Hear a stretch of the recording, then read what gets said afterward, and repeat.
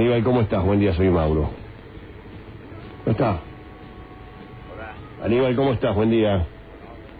Espérate que bajo un poco la música, te escucho bajito. Bajá un poquito la música, Taro. Querido, ¿cómo estás en lo personal? ¿Bien? Bien, ¿vos? Bien, yo trabajando un poco, remando, pero estaba interesado en saber cómo estabas vos, porque los amigos siempre tienen que estar, y este, las buenas, las malas, las regulares, las... Que es así, pero quedé tranquilo que esto, este, los cago a putear a todos estos hijos de puta todos los días, y vos querés que no me tiren, me van a tirar todo lo que puedan y me chupan los dos huevos. Cuidado que estamos al aire, cuidado que estamos al aire. ¿eh? Que estamos al aire, ¿eh? pero no importa, no importa. No, yo pensé que no sabe, que vos sabías que estábamos al aire, pero no importa.